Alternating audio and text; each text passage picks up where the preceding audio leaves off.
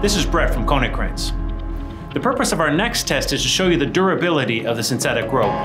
The test is going to show you what happens when you're using the synthetic rope and lifting a load and it comes into contact with a sharp edge. How does that affect the durability of the rope? And what happens when you're using a steel cable in the exact same situation? The synthetic rope is put at a 90 degree angle with a heavy load.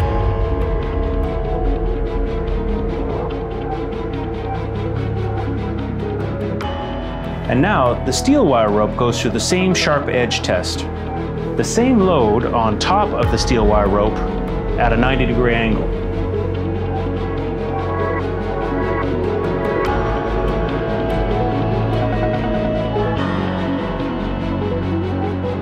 And now, the moment of truth. We've got the heavy load and the sharp edge test for both the steel wire rope and the synthetic one. So, let's take a first look at the steel wire rope and how it did with the sharp object test. And the results, well, they don't look so good. If you take a look at the rope here, you can see there are some clear deformities in the cable.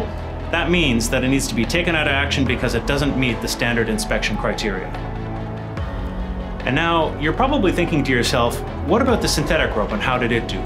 Well, you can see, yeah, there's a little bit of wear on that, but after some standard inspection, we found that none of the strands are broken, and that means that there was no permanent deformation. So it's still good to go. Under the same testing conditions, we saw that the steel cable rope performed significantly worse than the synthetic one.